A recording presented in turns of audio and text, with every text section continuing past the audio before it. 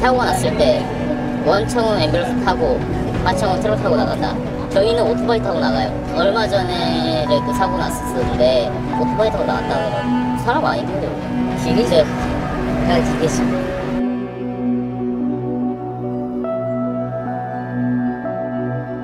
지금 10년째 반복되고 있는 거잖아요. 계속 똑같은 사망 사고들이. 하청으로 유지되는 생산 시스템을 바꿔야 됩니다. 이 시스템 상에서는 절대로 안전하게 일할 수가 없어요.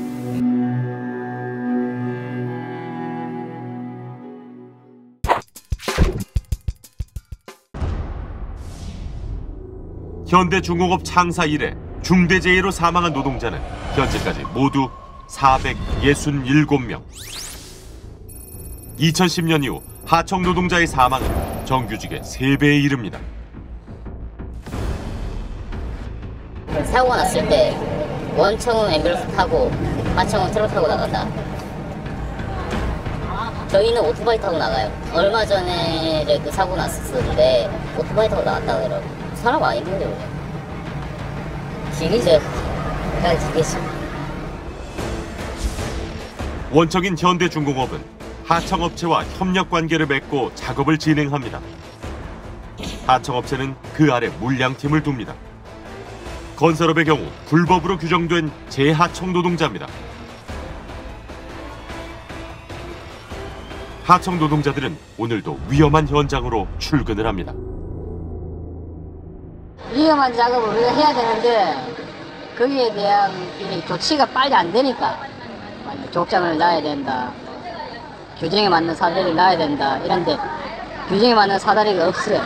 그럴 때 이제 뭐 안전관리 몰래라고 이렇게 작업하는 경우 생길 수밖에 없는 거예요. 왜냐하면 원청에서 며칠까지는 끝내주고 뒤에 공장 넘겨줘야 되는데 못 넘겨주니까 원청도 알면서 그냥 알면서도 이제 그래 가는 거죠. 더 힘들고 더 위험한 작업장엔 주로 물량팀이 투입됩니다. 안전 설비가 부족해도 하청 노동자들은 작업을 멈출 수 없습니다.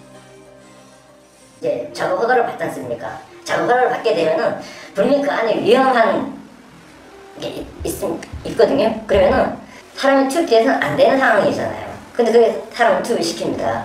사람 투입 이제 작업을 하니까 사람 투입 시켜놓고 거기서 가가지고 나중에 와서 그러는 겁니다. 안전벨트 왜안 걸었느냐, 아니면 여기 에어 설치 왜안 했느냐, 펜 설치 왜안 했느냐. 우리의 자신감과 자부심은 원청이 정한 짧은 공사 기간을 맞추려다 사고가 발생하는 건 당연한 결과입니다.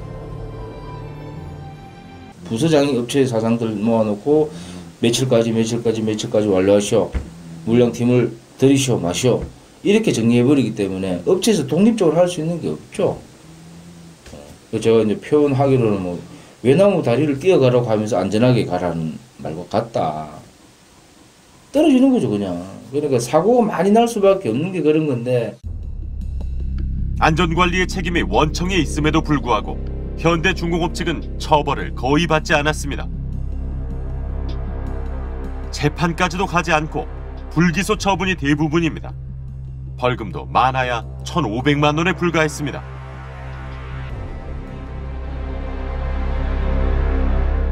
노동조합이 이 사망 사고에 대해서 이제 사업주를 산업안전보건법 위반으로 고발을 해요. 검찰에서 이제 구속을 시켰냐? 안 시켰죠. 구속된 적이 없어요. 이게 계속 반복되는 데는 회사에 어, 문제가 있고 이걸 조사하는 노동부의 소극적인 대응이 있고 그 다음에 어, 법을 위반한 거에 대해서 검찰에서 한번 봐주기가 있고 어, 법원에 가면 판사들이 양형을 낮춰주고 이게 공고해져 있기 때문에 이런 방식이라면 우리나라 산재 사망 문제는 해결이 안 돼요. 그리고 지금 10년째 반복되고 있는 거잖아요. 계속 똑같은 사망 사고들이. 하청으로 유지되는 생산 시스템을 바꿔야 됩니다. 예. 이 시스템 상에서는 절대로 안전하게 일할 수가 없어요. 예. 그리고 이 죽음에 대해서는 하청이든 정규직이든 원청 오너가 책임질 수 있게 해야 돼요. 어. 그러지 않으면 안 바뀝니다. 물론 그 두 가지를 한다고 해서 다 바뀌진 않겠지만 그래도 사고는 일어나겠지만 그나마 억울한 죽음은 막을 수 있겠죠. 현대중공업의 최대 주주는 정몽준 씨입니다. 그룹 승계 절차를 밟고 있는 아들 정기선 씨는 현대중공업 부사장입니다.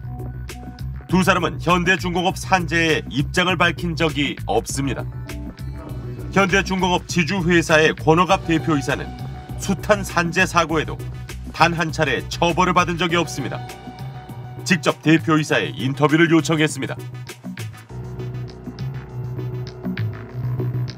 근데 이제 도의적인 측면에서 이제 그룹사에 일어난 일이니까 총괄하는 입장에서 그거에 대해서 이제 책임을 말하시는 거면은 저희가 안전대책 수립도 이제 발표를 하고 했는데 그거를 잘 지켜줄 수 있도록 지주사가 할 수 있는 모든 지원을 아끼지 않겠다. 이죠. 현대중공업 측은 답변서를 통해 먼저 정범식 씨 사망 당시 관계기관의 조사에 협조했을 뿐 경위나 원인을 판단하지는 않았으며 일부 안전조치가 미흡한 점에 대해서는 예방 시스템 구축을 약속했습니다.